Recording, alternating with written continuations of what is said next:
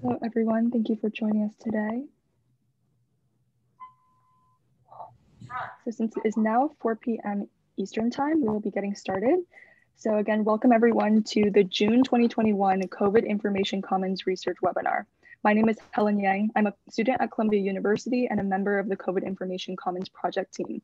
So the COVID Information Commons, or KIC, is a COVID-19 research collaboration platform brought to you by the four big data innovation hubs and funded by the National Science Foundation Convergence Accelerator. And the COVID Information Commons, or KIC, um, we bring together researchers every month as part of this webinar series to give lightning talks to share their research findings and engage in community discussion and Q&A. So before we get into our wonderful list of speakers today, I'd like to introduce co-PI on the KIC project and Executive Director of the Northeast Big Data Innovation Hub, Florence Hudson, to tell us a bit more about the KIC. Thank you so much, Helen, and thank you for organizing this entire thing. I have to let you know that Helen is a student on the team, as she mentioned. She's been with us for over a year, and she organized this entire event. So I want to thank you for all this great work. And for the other students on the, on the line too, Abhishek and Paula, who are helping us out. So the COVID Information Commons was funded in May of 2020 through a rapid award from the NSF Convergence Accelerator, as Helen mentioned. We launched in July of 2020, and initially we weren't sure how popular it was going to be. We actually had 178 people attend our kickoff meeting, which was rather shocking to us. Um, and we had over 40 PIs offer to present their research. So in that first webinar, we told everyone, congratulations, you're now part of the COVID Information Commons community. And we created these monthly webinars. And we're really delighted that while we started with NSF awards, uh, the RAPID awards, which are Rapid Research Response Grants, we added other NSF awards. We also now include our NIH colleagues. So NIH funded uh, COVID researchers, and we're really delighted that we have one joining us today.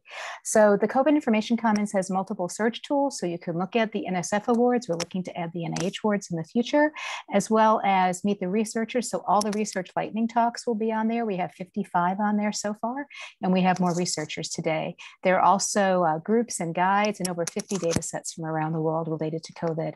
So please feel free to share this with everybody. It's open access, which is the whole idea um, from the FAIR principle findable, accessible, um, interoperable, and reusable. And we're delighted you could all join us today. So Helen, take it away and introduce our great speakers, please. Thank you so much, Florence. So here's our list of speakers for today. Dr. Katie Corvey from Auburn University, Dr. Luis Ortiz from the New School, Dr. Jeffrey Townsend from Yale University, Dr. Gangli Wang and Jonathan Paddleford from Georgia State University, Dr. Haichong Kai Zhang from Worcester Polytechnic Institute, and Dr. Caroline Zeiss from Yale University. So without further ado, let's welcome Dr. Katie Corvey from Auburn University. So Katie, feel free to share your screen.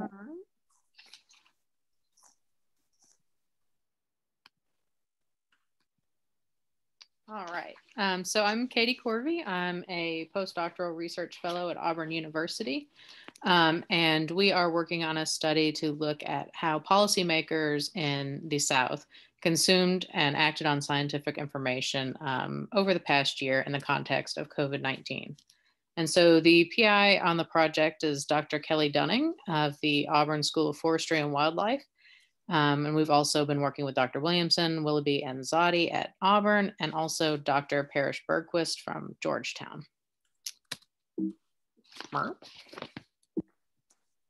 Hold on. There we go. All right. Um, and so to frame our study, um, we have been using the policy regime framework. Um, it is um, from the uh, public administration literature, and it seeks to explain um, and identify the different things that are in play whenever there is a policy regime. In this case, it would be the response to COVID 19. And so um, this slide kind of outlines work that was um, done by two scholars in the field, Carter and May, and this was published last year. Um, and this framework, um, they kind of did an initial assessment of COVID-19 and then we're building on it by um, looking at what the response has been in Alabama, Mississippi, and Louisiana. And so this framework theor theorizes that poly policy responses to major issues such as the pandemic include ideas, institutions, and interests. And ideas are the concepts that become the foundations uh, for policy. So in our case, we're defining the science of COVID as our ideas. um, as these are the basis for guidance, um, mandates, et cetera, in the response to COVID. And then we have institutions. And so these are the federal, state, local agencies and organizations um, that have responded to COVID. Um, we're particularly interested in what their actions have been. And we are looking at both their individual actions and um, collaborative actions. And then finally, you have interests, which are uh, the different political actors who push for different um, policy approaches um, during the response. And so um, the second box of each of these three kind of shaded areas um, kind of outlines the findings of Carter and May. And as we kind of go through the next few slides, you will see that we are finding um, very similar things. So we have uh, three components, three major components to our study. The first is an analysis, analysis of policy documents. Uh, the second is interviews with decision makers. And the third is a public survey. And so for the policy document analysis component of the study, we've been uh, collecting policy documents from federal, state, local agencies, other organizations um, who have played some role in the COVID response uh, for our three states. And so these documents um, can include official agency guidance, general website content, news releases, um, press conference write-ups, um, any kind of other information that is out there that can help us to understand um, what ideas have been communicated, who has been doing it, what have been the roles of the different institutions involved, um, and what are the various interest groups that have influenced the response in the three states. Um, and so we're kind of in the early stages of this. Um, for ideas, we found that generally information has flowed from federal agencies down to state agencies and then on to local agencies uh, and organizations. And that states have, in general, developed plans from federal guidance. Um, they are incorporating CDC data, but also their own state level data. And then these plans are operationalized um, at both the state and local level. For institutions um, to date, we've found that um, there was a reduced response capacity at the federal level, and that this caused a lot of confusion and delay in response. Um, and it has led state and local actors to really take responsibility um, for creating and operationalizing uh, their policy responses um, for COVID. And uh, for the interests, um, sure it's no surprise that political uh, polarization has just really hampered uh, the response. And so we are picking up on that as well.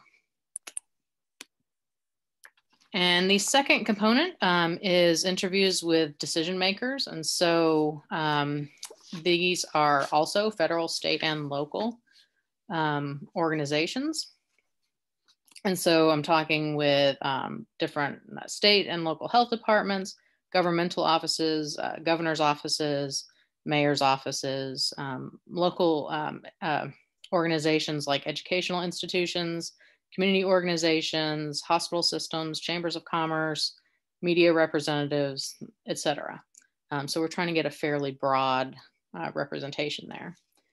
And so in general, we found again that um, the information has flowed from the federal level, but many of the local organizations in particular are prim primarily relying on state level um, data to develop their policy responses um, as they just feel that it's more appropriate um, for what they're trying, trying to get done.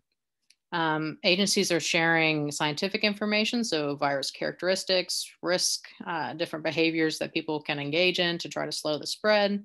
But they're also sharing resources such as um, links to unemployment information, uh, small business loan information, etc. And they are doing it by every medium that you could imagine. Um, and so general, in general, uh, in terms of trust, that's come up a lot in the interviews. Um, and there's been a real focus on building uh, trust at the local level and also capitalizing on trust that is already there at that level um, to really kind of operationalize and facilitate the policy res um, responses that are coming um, from all levels of government, really. Um, and so uh, we're also asking them about their challenges. Uh, one of the biggest challenges that has been talked about by so many of our participants um, is the inability to effectively counter misinformation. Um, for many reasons, just it spreads so rapidly. There's a huge volume of misinformation. the politicization of the entire response, um, and also the promotion of misinformation at the federal level, uh, particularly in the early stages of the pandemic last year. Um, another big thing they're mentioning is uh, information management, again, just because of the sheer volume of the information that's coming out, um, that the information has changed over time, just as the response um, and situation has changed. And also just this sense of burnout in the population um, in terms of how much uh, information about COVID we're expecting people to uh, consume, internalize, and act upon. And then in general, um, just this widely held belief that COVID has highlighted existing societal issues, uh, racism, politi uh, politicization, disparities in health, education, income, access to resources, um, and that those are the things that we really need to focus on in order to better deal with um, situations like this in the future. And then the final component of the survey is a public, or of the study, sorry, is a public survey, which will be rolling out in the next few weeks to adult residents of Alabama, Mississippi, and Louisiana. And so we'll be asking them where they're asking people where they're accessing information about COVID um, from all levels of sources, federal, state, and local. So we've included major news outlets, local outlets, mayor's offices, local radio and TV, um, agencies like CDC or the state or local health department, social media, individuals such as uh, including former President Trump and President Biden, people's personal physicians, religious leaders, families and friends, employers, etc. Uh, the crux of the survey um, are experimental questions that we're going to use to examine public trust and information that's provided by different levels of government. Um, and so we'll have messages such as guidance on COVID mitigating uh, behaviors that people can engage in, and we will attribute those messages to various institutional actors from the different levels of government, and then we'll gauge participant response um, to that presentation of the information. Um, so we're kind of excited about that. Um, and then we'll also um, ask about support or opposition to various mitigation me measures, as well as any personal behaviors that people have or have not engaged in to control the spread of COVID. Uh, and then, of course, we will be uh, collecting demographic information so that we can analyze uh, our responses by the different subgroups of respondents. So that's a very quick um, overview of what we're doing. I have to acknowledge all of the students who have helped us uh, so far with this project. Um, and these are the references for the policy regime framework if anybody is interested in that.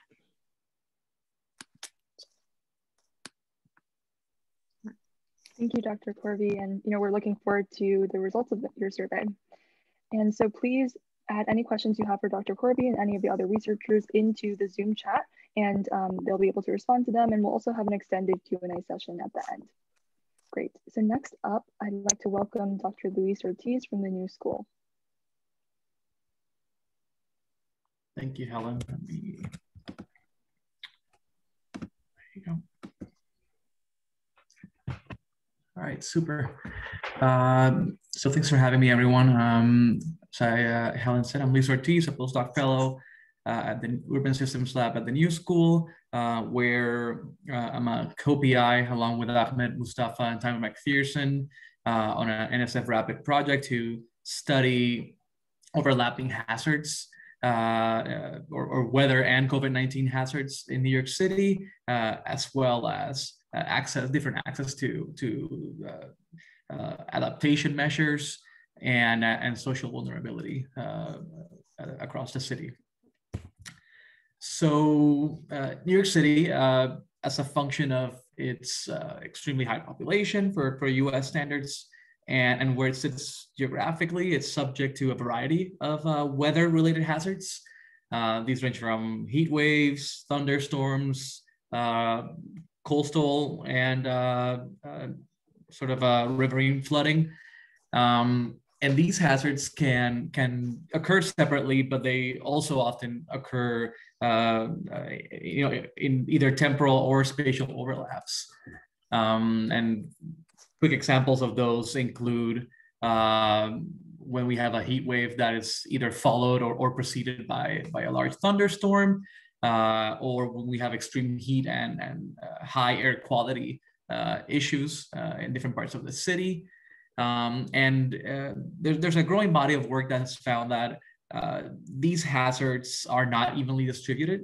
Um, and the, their impacts are, are, are felt, or there's large inequities in the impacts felt by these different types of hazards.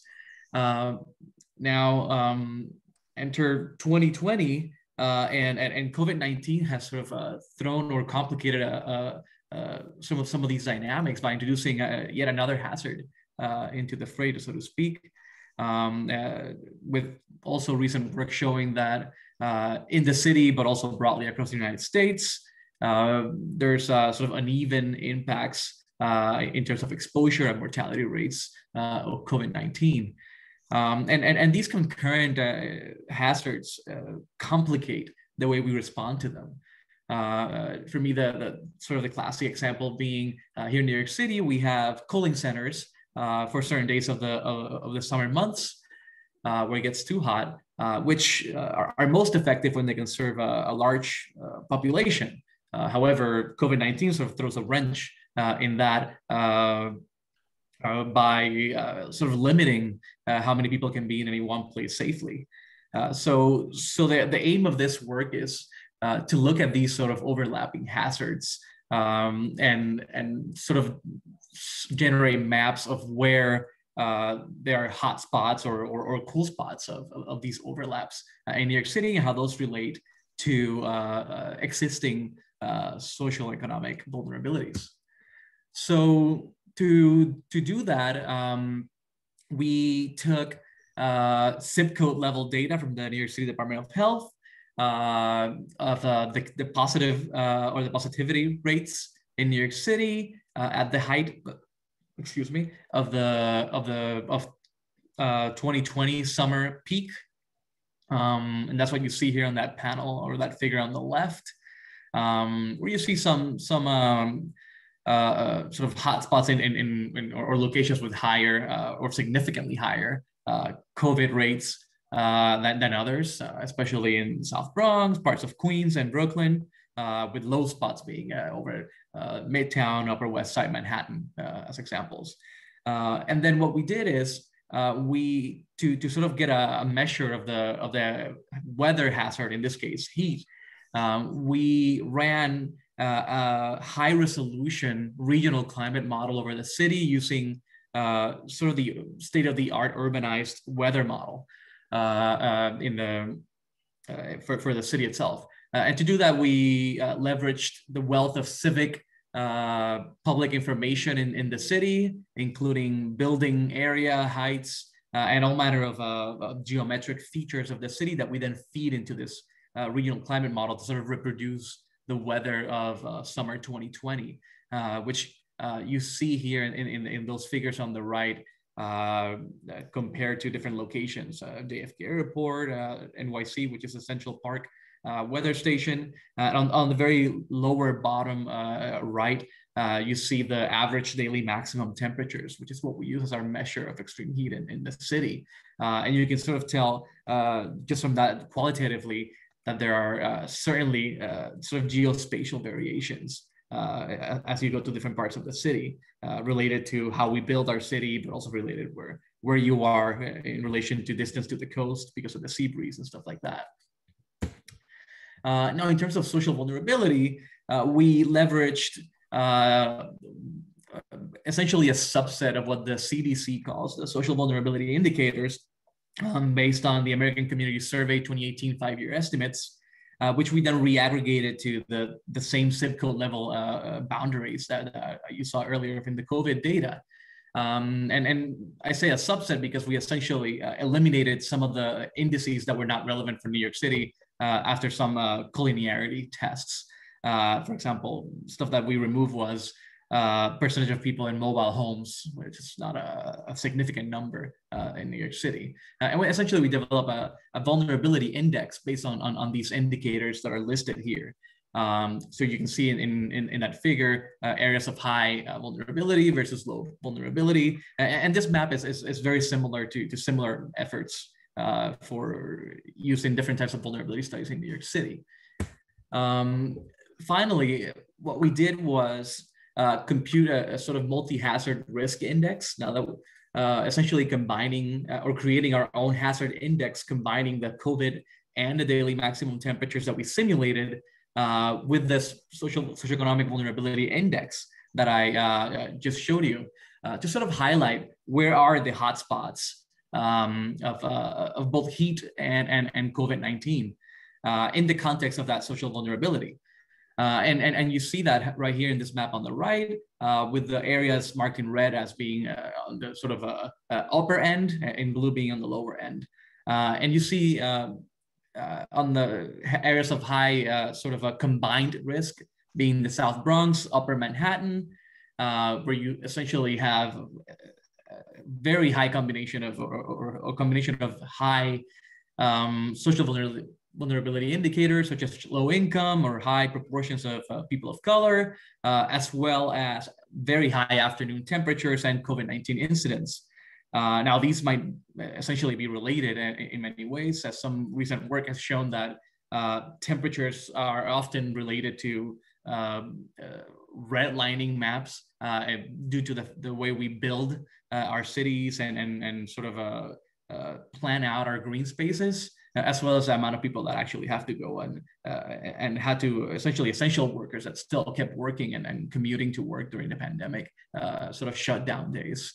Uh, so that is definitely reflected here in, in the map. Um, you see sort of uh, low or cool spots, uh, which in this case mean not necessarily that uh, it's low incidence of any one particular hazard, rather that the combination of the two is not a, a particularly high. Uh, and you see that close to, to the southeast uh, coast, um, mainly due because they're relatively cool areas because of the sea breeze that I mentioned earlier. Um, uh, and, and, and that's sort of reflected in the map as well. Um, so, so yeah, so uh, a lot of the work that we're doing sort of uh, highlights uh, where these overlaps of, uh, of, of, the two hazards, heat and COVID-19 are, are significantly high um, and, and where they overlap with, with high social vulnerability areas, uh, like I just uh, showed, um, which essentially show, uh, leads to these sort of hotspots where we really have to be careful how we deal uh, or how we plan the response. Remember the, the, the sort of example of the cooling centers that I mentioned earlier. Um, and, and then we are going to extend this work to, to other weather-related hazards as well. Uh, we have flooding that can be significant in different parts of the city um, as, as well as uh, uh, different types of uh, infrastructure failure uh, that we have been reported. And we can sort of combine these uh, to get a better sense of how to respond to, to sort of these overlapping hazards. So yeah, so very happy to answer questions coming up and thank you for having me. Thank you so much, Dr. Ortiz, for sharing with us your work. So next up, let's welcome Dr. Jeffrey Townsend from Yale University.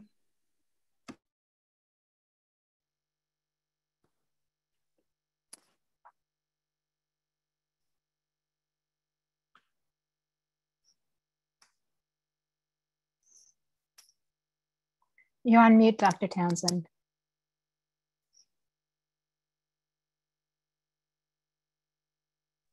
Thanks for, um, for uh, tuning in for this. I'm going to talk today about the durability of immunity following infection by SARS-CoV-2.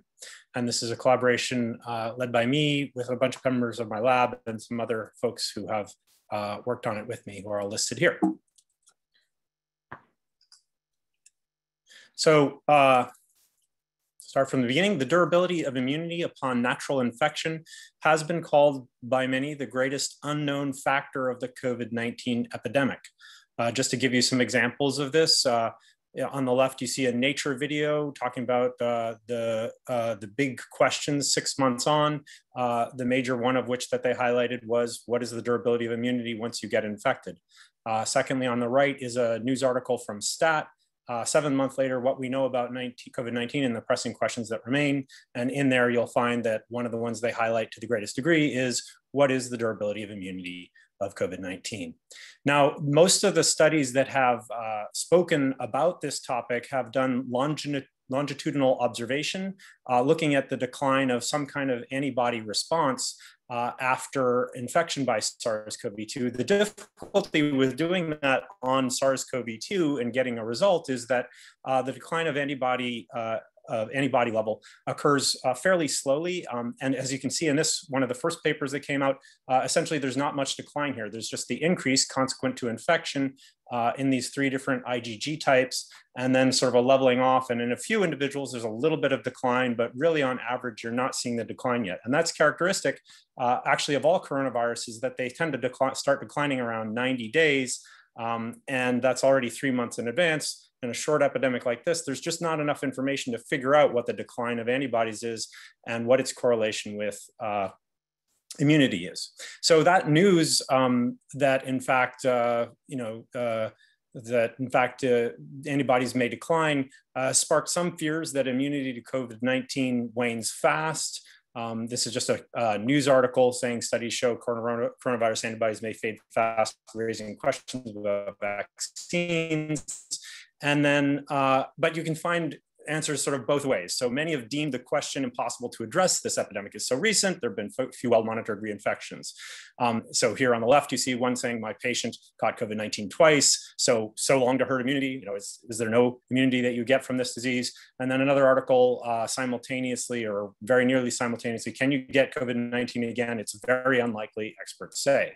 So it would be really great to answer this question. And I'm here to say we can answer this question. On the contrary, there's not nothing known, but we do know something about the durability of immunity to SARS-CoV-2. And the reason we know it is because of the historical contingencies of evolutionary biology. Uh, SARS-CoV-2 is a coronavirus like multiple other coronaviruses that are listed here, SARS-CoV-1, the, the three, the, the human coronaviruses you may be familiar with that are cause the common cold regularly. MERS is another example. Uh, and those coronaviruses all have uh, genetic differences that tell us how closely related they are to each other. So we can learn something from the other coronaviruses about SARS-CoV-2. And there's a very rigorous way of doing that, and that is by phylogenetic analysis. So if we look at the different viruses, we can see how closely related they are. And the fact is that viruses can't evolve super quickly. They have limits to the rate at which they can evolve and how fast they can change.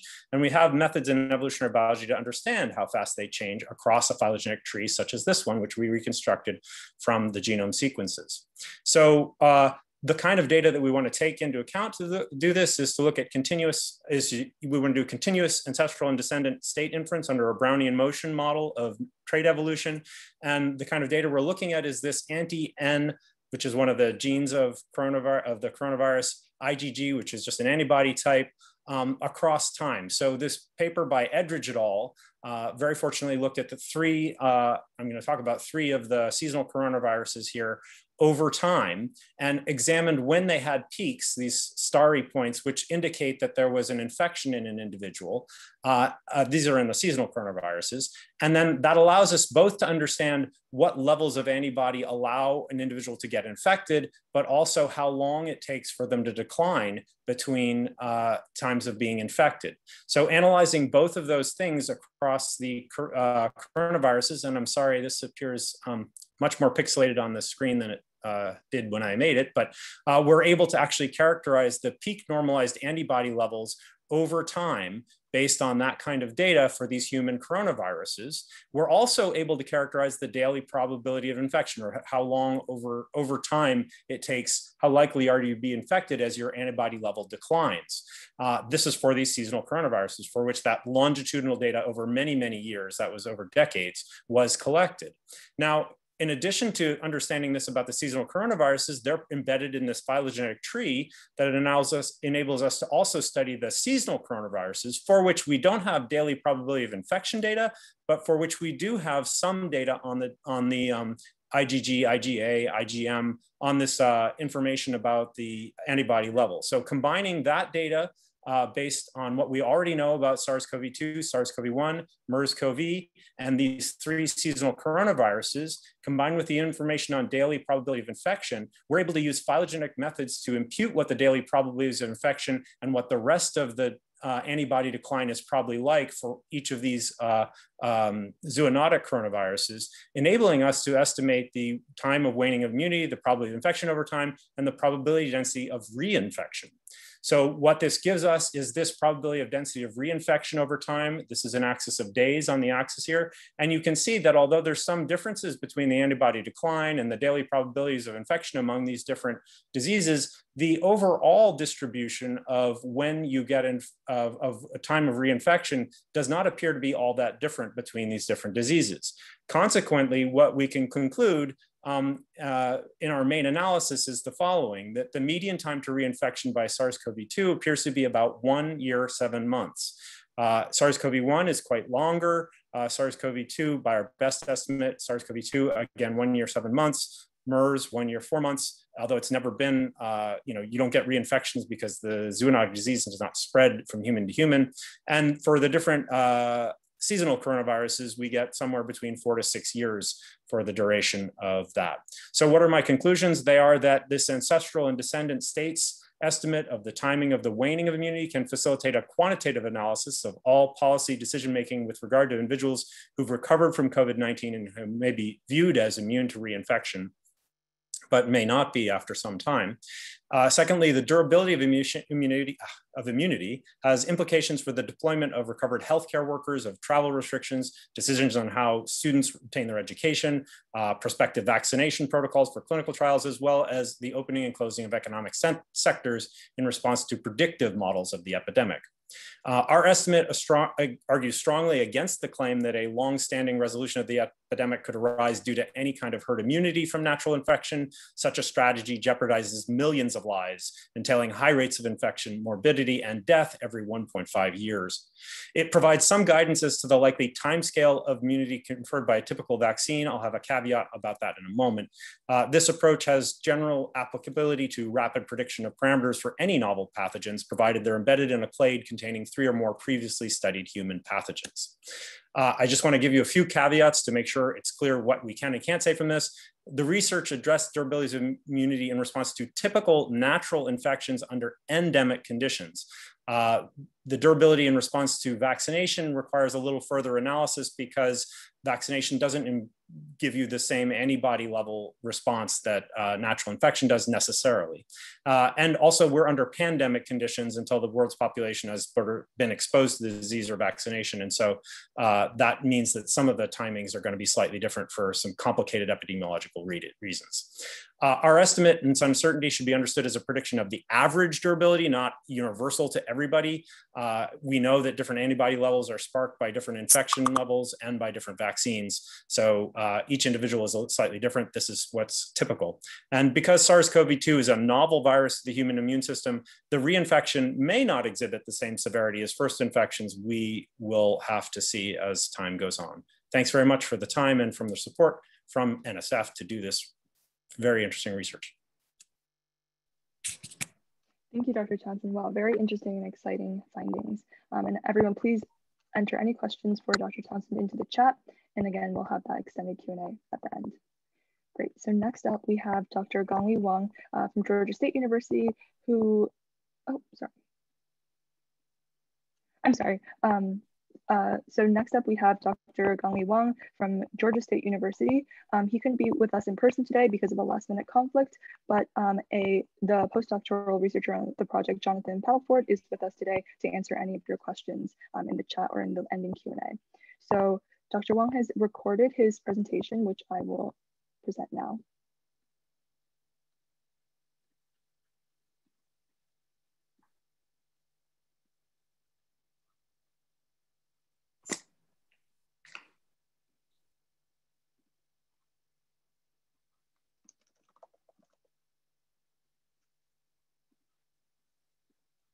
Ellen, I don't know if the audio is working this time. Should okay. I try? It's okay. Let me do, let me just redo this really quickly. Okay. Thank you for letting me know. I was just going to, sure. okay. Hello, everyone. Uh, I want to start by thanking CIC for offering this amazing platform, you know, for us from very different fields to share the, our progress and our research uh, on this common theme motivated by the COVID-19 pandemic. So this is a project supported by chemistry, uh, self-chemistry, chemical measurement, and imaging.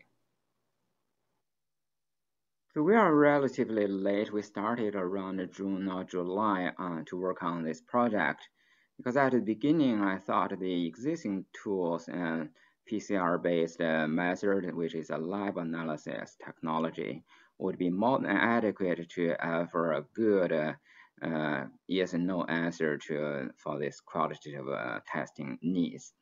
So it was not until um, all the false, false positive and false negative results being reported of all those tools being used uh, under emergency use authorization, we realized there are fundamental things we can contribute.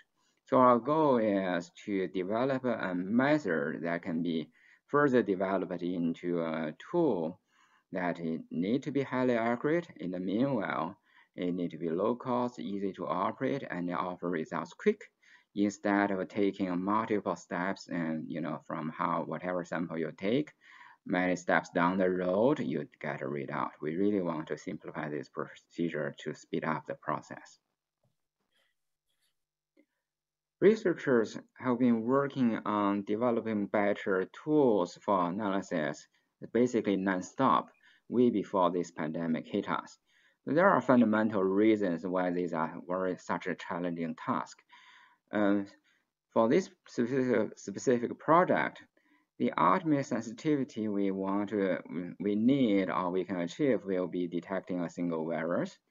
And we really want the detection to be specific. The most specific to the virus would be the generic material. In this case, is RNA sequences specific to the uh, virus. Right. So fundamentally, there are problems to achieve this kind of a goal. One is the signal associated with single molecules. They are generally very, very, very weak. And because every measurement, there's noise associated with it. It can be random noise, meaning there's nothing we can control of. And there can be sampling errors, especially when we are handling the samples with very low quantity of the target. Of course, there will be human mistakes and more or less it's going to occur, especially when you handle the sample multiple times, like what happens down here. So to avoid, uh, to overcome the signal to noise limitations, all the are currently adopted tools are almost exclusively based on sample amplification. These include lab tools like PCR and um, almost all the fast testing tools that, that I'm aware of. Right, so you just needed to amplify, grow the signal sample more so that the signal is uh, strong enough to be measured. So what we decided to do is we want to tackle the problem from that, another angle is called some signal amplification.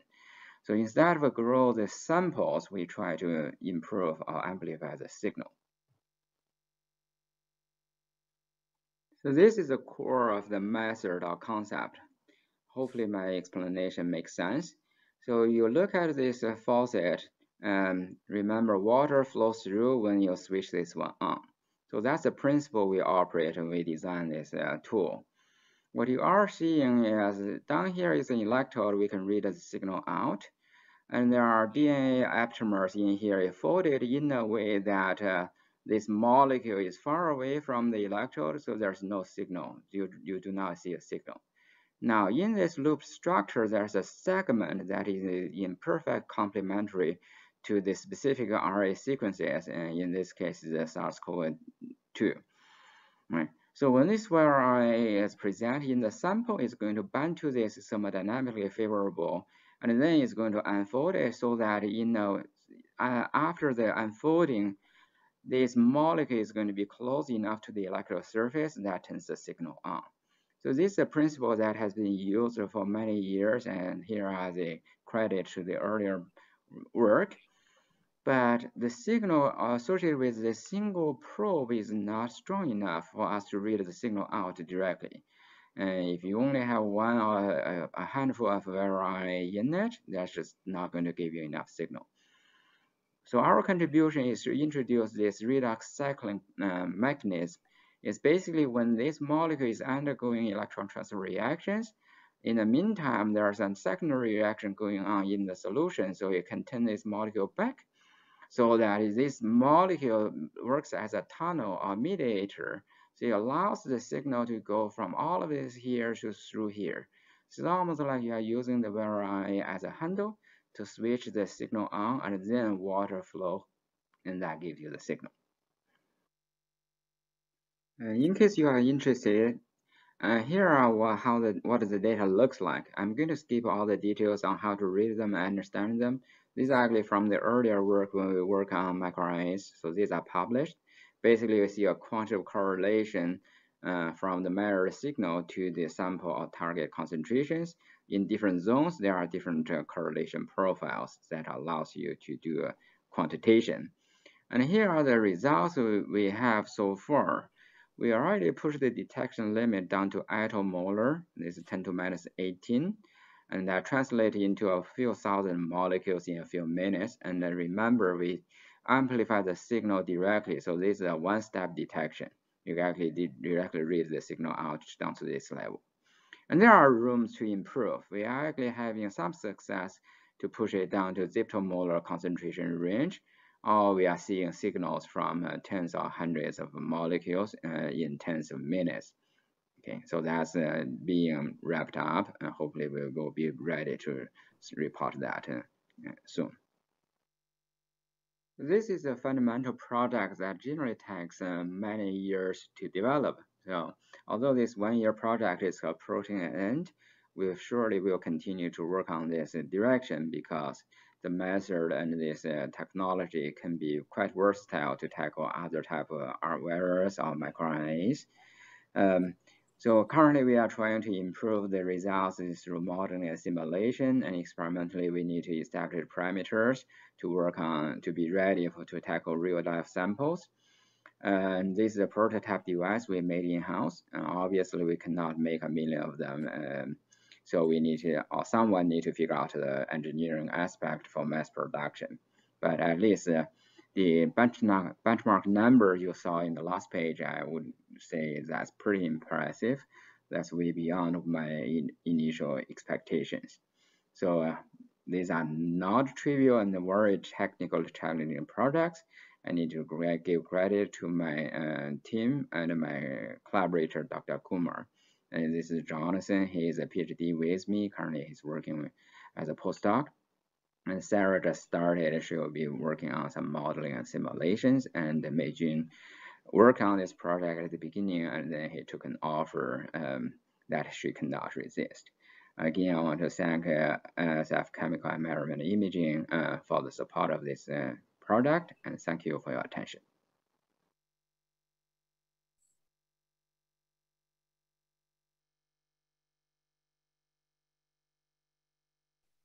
It's very interesting research by Dr. Wann's team. And if you have any questions, please direct them to Dr. Paddleford in the chat. Great. So next up, we have Dr. Haichong Kai Zhang from Worcester Polytechnic Institute. Thank you, Helen, for introduction, and hello, everyone. Um, it was very um, um, great pleasure for me to have opportunity to speak um, in this webinar series. And uh, my name is Haitong Zhan. I'm assistant professor in um, biomedical engineering and robotics uh, from Worcester Polytechnic Institute. Today I'm going to talking about uh, a little bit different flavor from other talk. Probably it's more engineering focus from engineering and robotics perspective, how we can contribute toward uh, the, the challenge we're facing with COVID-19. And before I start, I would like to acknowledge all the team and collaborator um, where we have a multi-disciplinary uh, institutional or even multi-continental collaborator um, from United States and Nigeria and Japan, um, where we have BIDMC, MCPHS, as well as uh, African University of Science and Technology uh, National Hospital of Abuja from, from Nigeria. And, and also appreciate the support from NIH to allow us to do this research in a, in a timely manner and uh, like to give a special credit to Dr. Ryosuke Tamura. He led this project and um, basically built this robot um, from scratch once we realized the need during this pandemic. Okay, let me start from uh, why we are doing this kind of project and, and why robot you know, were necessary toward COVID-19. I need to start from um, describing uh, why we need to have those imaging device at the first place. As we already know that COVID-19 is already providing significant impact. And at the same time, we, the good news is we already know that there's a lot of like effective way to detect COVID-19, including the previous presentation um, being, being pre presented. Um, what, what PCR or antibody provide us is the qualitative information, how much, you know, uh, if we are uh, infected with COVID-19 or, or not. Then the next thing what patient want to know when they go to hospital is how much this virus is affecting the patient's lung and how urgent the treatment they should receive. Um, if the patient should go to ICU right away, or the patient should be isolated, or should be self-quarantined, uh, which require more detailed analysis understanding the situation of the patient lung, where diagnostic, uh, diagnostic imaging will play a critical role, such as uh, X-ray imaging, computer tomography, CT, uh, or ultrasound has been widely used in hospital in United States or around the world. Um, the limitation of those diagnostic imaging currently we identify is the fact that X-ray or, or CT are effective imaging device. We can see the you know picture of the lung, but accessibility for such device um, is limited, um, given the fact that uh, we need to bring the patient to those machine room, which is cumbersome and has a risk of transmission, and also need to sterilize the machine um, every single usage between different patients.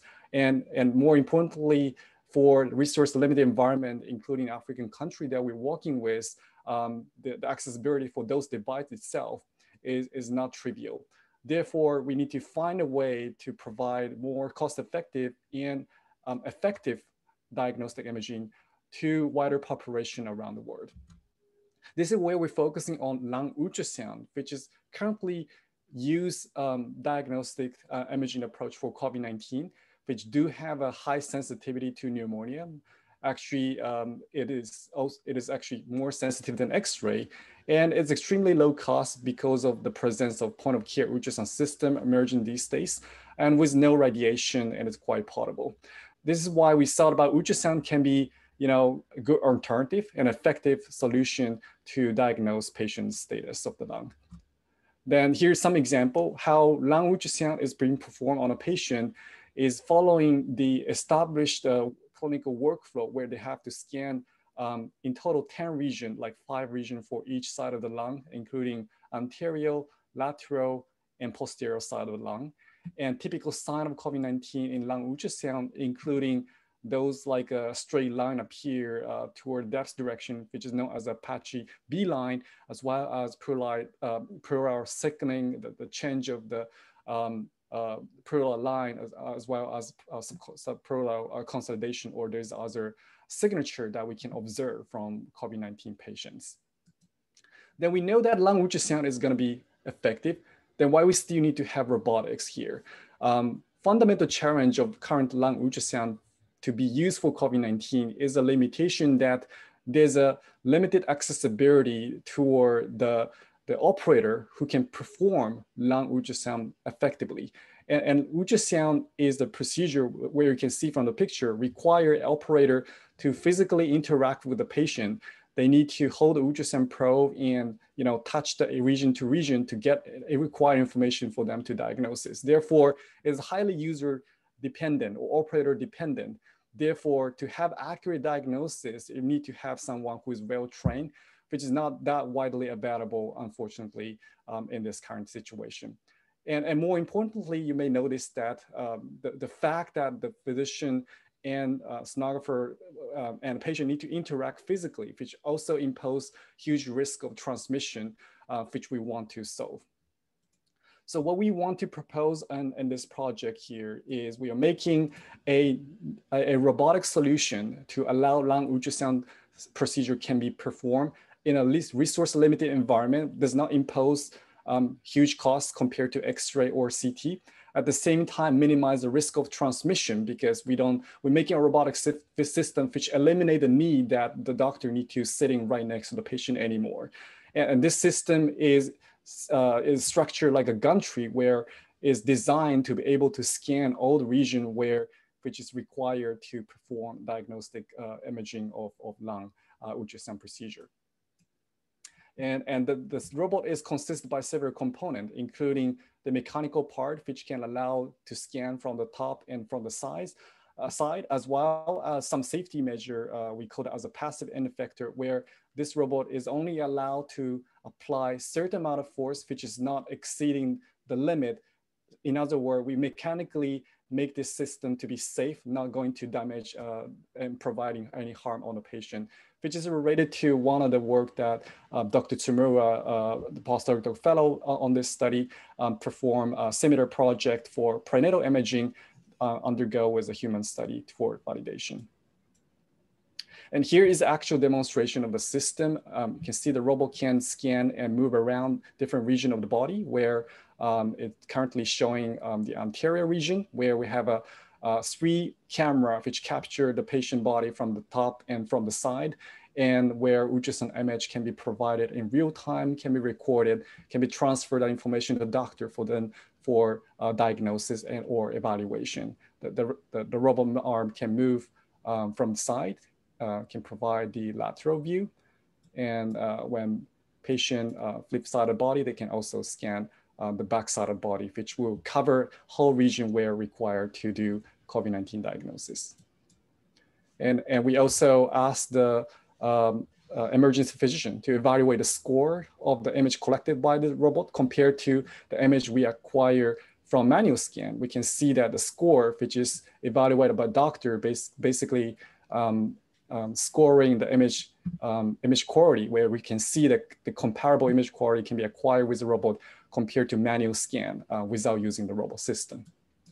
So where, we, where our robot is right now, we, started this project 2020 um, April, and we, we start design from scratch and we made a robot. And now the robot is transferred to Nigeria and, and hopefully this robot will be able to um, testing on actual patient subject there. Um, we are very excited about this initiative.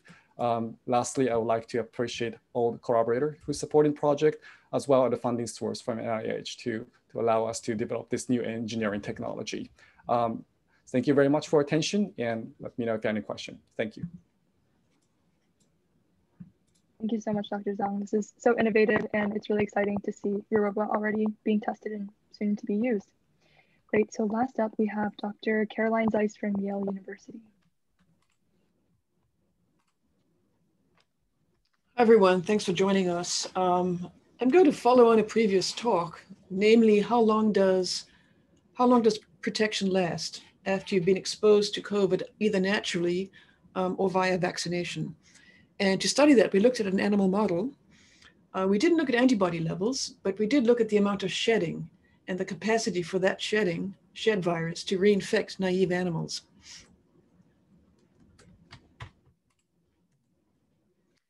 So we used a native rat virus called SDAV. Um, this is a, a rat-specific beta coronavirus that is very closely related to the seasonal human coronaviruses we get. Um, its next closest neighbor is MERS, and then the next one after that is SARS-2. And it causes a relatively mild interstitial pneumonia that is transient the animal recovers in 10 to 14 days. So it's not a great model of lung injury. However, it is a good model of transmission because all of the essential features of SARS-CoV-2 transmission are replicated in this virus. So we used SDAV to model transmission of SARS-CoV-2. We also used another rat coronavirus, also quite closely related, to model vaccination. And so the analogy here would be a live viral vaccination. Our intent for creating this data is then to put it all into an SEIRS model, which is a mathematical model, to um, model epidemic to endemic transition, which is what we're doing now. All I'm going to present today is the in vivo data.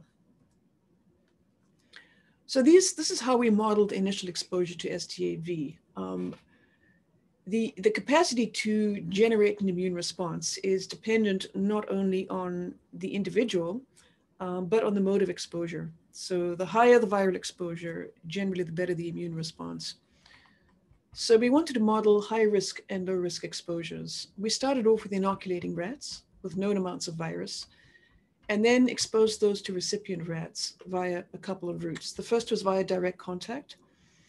Um, and then our low risk exposures were fomite exposures. One was a fomite cohabitation model, where after the fomite exposure, the recipients are co-housed. So if one got it, it could give it to another via direct route. And in the other, they were singly housed. And that was our lowest risk exposure. Um, so we see that when we separate all of these recipients out, uh, these are our positive controls throughout. So these are animals that are inoculated that are red we see that their PCR positivity rate, so these animals were swabbed five, for five days sequentially after exposure. Um, their, their PCR positivity rate is 100%. So um, pretty much similar between direct inoculation and direct contact, and they all seroconverted. And then as we go down to our lower risk exposures, their PCR rates go down, and so do their seropositive rates go down. Um, just to note, the, the CQ, this is the cycle number, low is more. Um, so this is the threshold at which you detect the virus. And we see that with direct inoculation and direct exposure, we're looking at around 28 to 29 cycles. And then the shed amount of shed virus is much lower with the lower risk exposures, which is what we expect to see.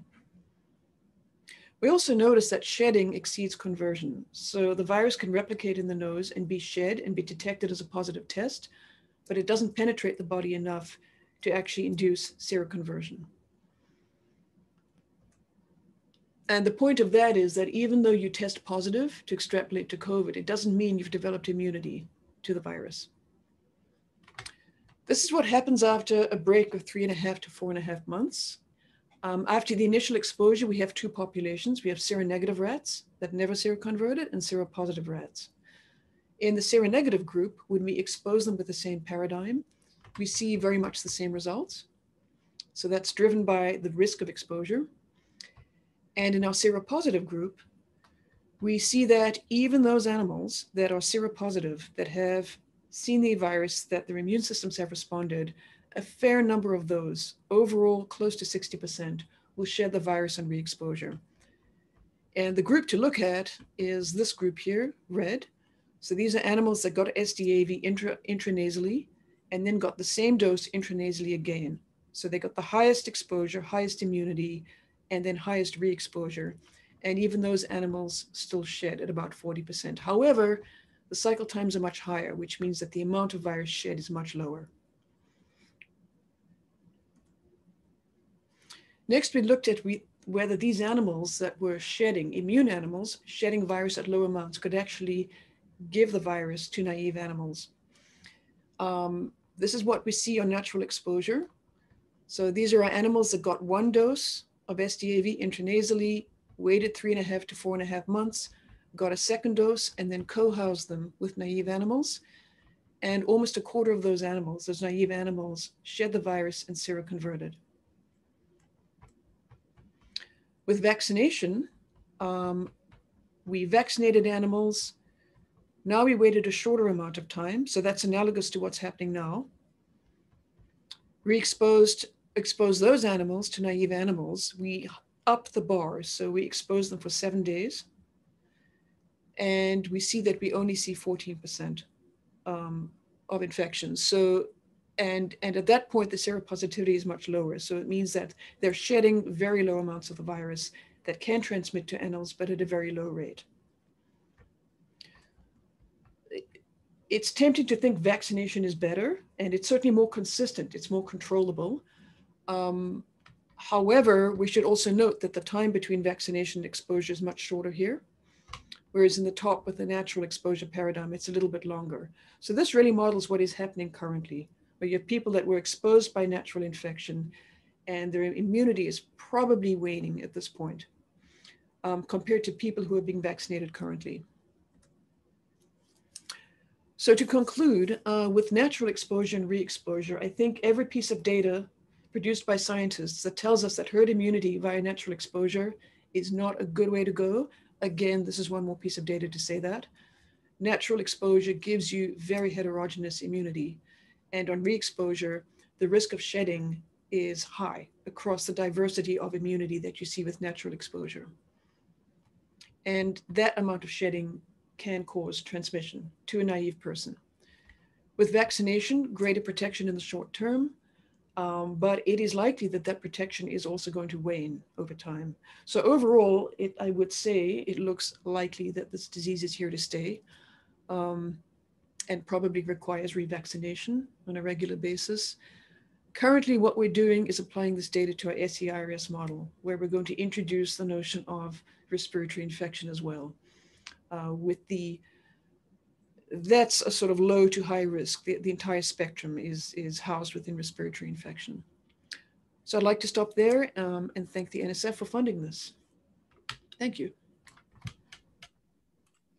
Thank you so much, Dr. Zeiss so interesting to see so much diverse research, but also some overlapping findings um, and all very relevant work as we continue to work towards reopening and, and vaccines and everything like that.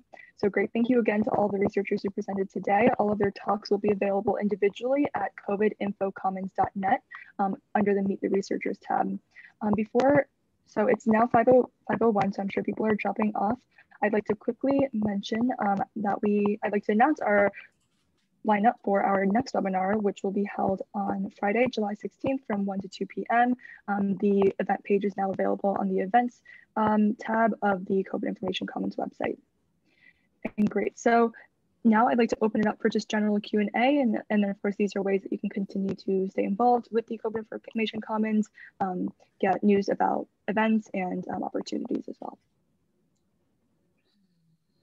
So if there are any questions, anyone who's remaining on the line, please feel free to unmute.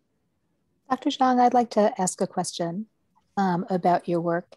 So when I was uh, thinking about how you know you had it, the the device here and now it's in uh, Africa, and you have partners in Japan, there's so much opportunity for transition to practice um, and actually creating this device and making it available. So um, do you already have plans like that, or are you looking to maybe go for like an NSF SBIR, NIH SBIR uh, proposal or something like that? Do you have um, plans to transition to practice?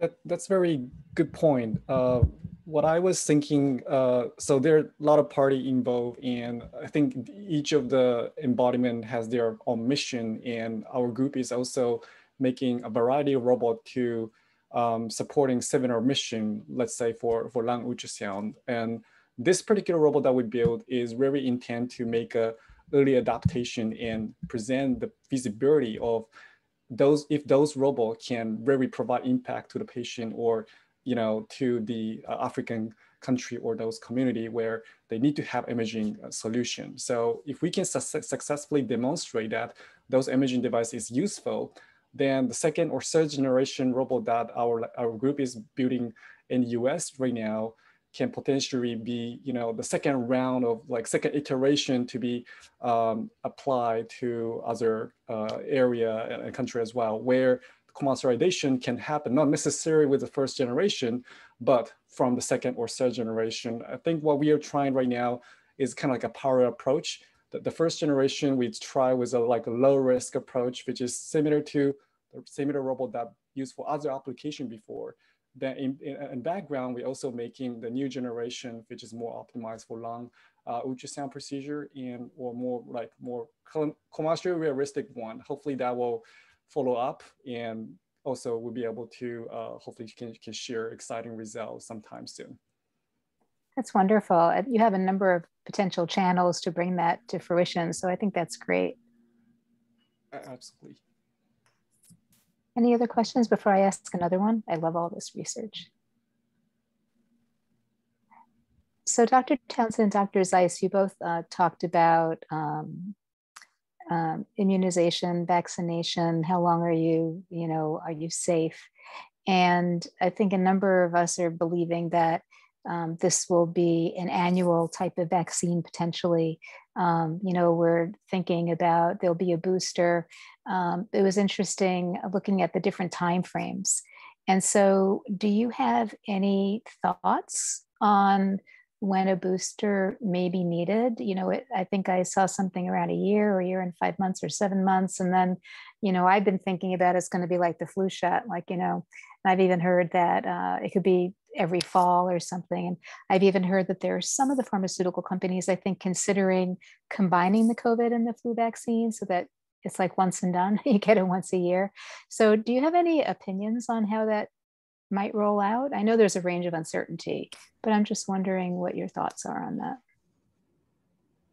Um, sure, I, I could start with that. I think the variants are a wild card. Mm-hmm. You know, with, with the rat study, the uh, the exposures are actually, I think, more intimate that, than occurs in the general population. So I think there is a high likelihood of transmission that we see in the rat study that we would have to account for in a model. Um, but the variants, who knows, you know. Yeah, who knows is the right answer, but um, I figured you guys might know better.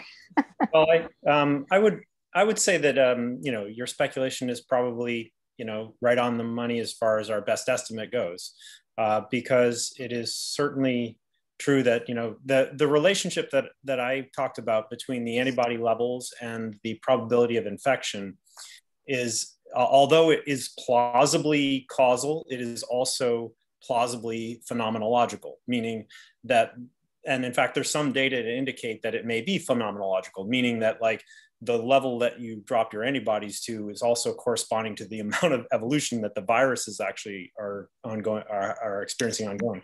There's there's evidence that SARS-CoV-2 is not any different from the human cold, you know, the HCOV viruses in terms of all these variants that we've seen. Like we followed them in detail in SARS-CoV-2 because this has become a national obsession because of the enormous impact it has. But the common cold varies with genetic change over time as well in very similar ways in the very similar way in this on the spike protein. So um, there's not there's a lot of evidence that these are very very similar viruses in their in terms of just their overall way of of um, of of making their presence known to us, so to speak. So I, I, think that that's about right. I mean, I mean, you know, maybe a little bit longer, it may be a little bit shorter. One caveat that I would say to that, you know, because the estimate is 1.5 years or so. There's also some very weak evidence because, again, in a pandemic, it's really hard to know regarding the seasonality of this virus. It seems very seasonal. We've got a lot of, of sort of ancillary evidence saying it is, but we can't mm-hmm. really na- nail that down when we've got a pandemic with lots of interventions going on. So all of that comes together to say it seems like I would say probably around a yearly vaccination booster would be about right. Now, there's one caveat that I just want to say, which is that vaccine, the vaccines really are not the same thing as experiencing a natural infection in a variety of different ways. But the one maybe possibly hopeful note is that in order to generate these uh, uh, mRNA vaccines, for instance, they actually have to stabilize that spike protein in certain ways. Mm-hmm. Now, it's not clear whether that stabilization is something that has an effect on how your immune system actually recognizes the spike protein or not. But mm-hmm from what we've seen so far, it seems to help that recognition process. And it may be that having a more stabilized spike protein means that you get antibodies that are going to have a longer duration of immunity against um, variants as they evolve than normally would be seen. On the other hand, we've already seen some degradation of the immunity uh, in some of the variants that are coming now. And a lot of that degradation is not selected de- degradation. It's just coming from random changes because it's um, emerging in places where there wasn't necessarily a lot of vaccination.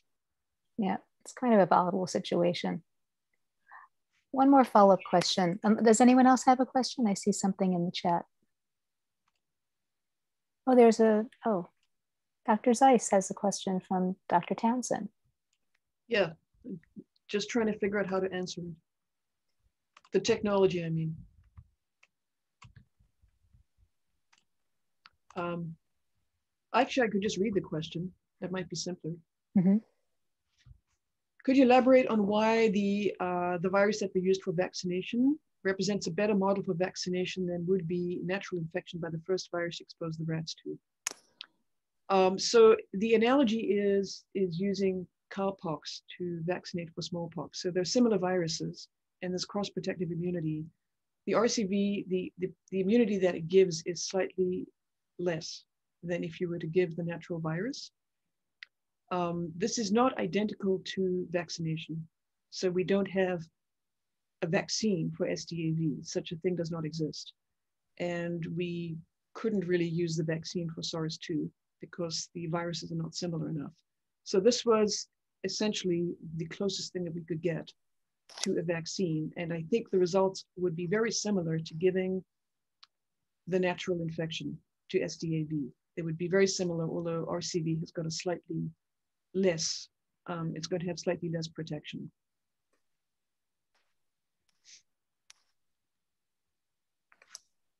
Very interesting. Did you have a follow-up question, Dr. Townsend, or?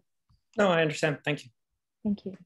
So I'd like to ask a question, another one. Um, so when they first came to us, uh, NSF, and said, you know, we'd like you to do this rapid on a, a, COVID information commons, I actually started Googling, you know, coronavirus and looking for background and stuff. And at the time, I found um, an NSF award, which I can't find anymore, which was for the third biennial coronavirus workshop in 1985.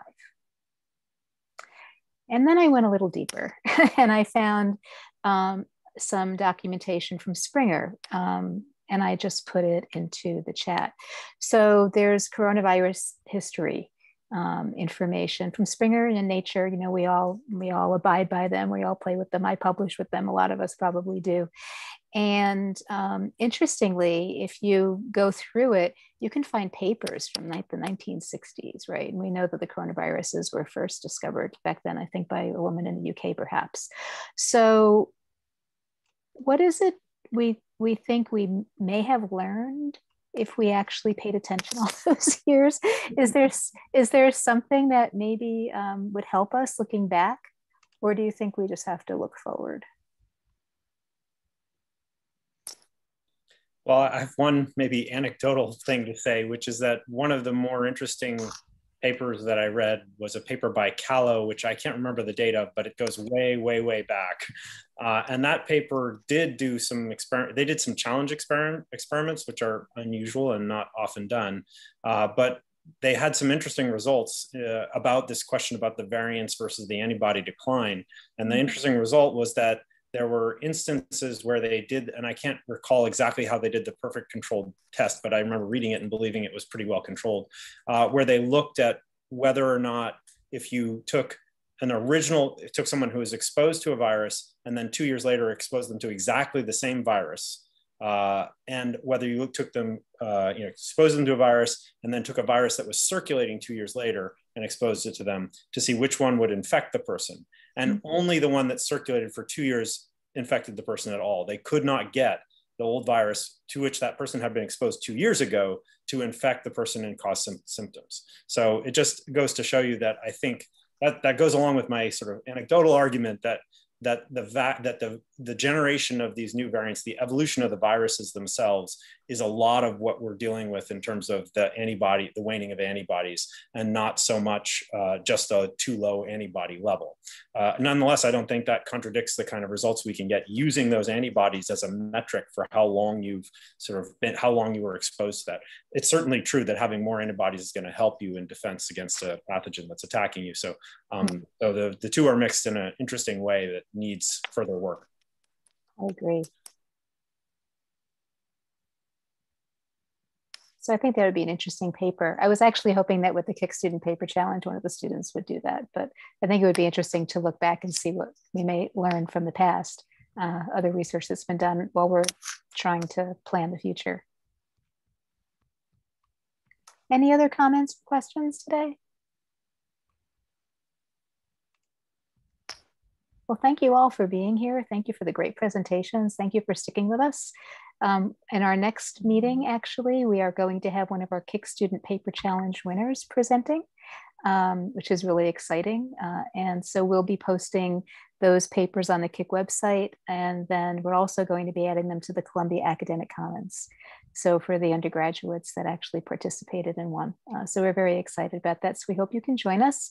And Helen, anything else? No, thank you again to everyone, um, all the speakers today and everyone who's joining us. Um, and we hope you continue to stay engaged with the CIC. Thank you, everyone. Be well. Great, thank you. safe. Thank you. Bye-bye. Have a great evening.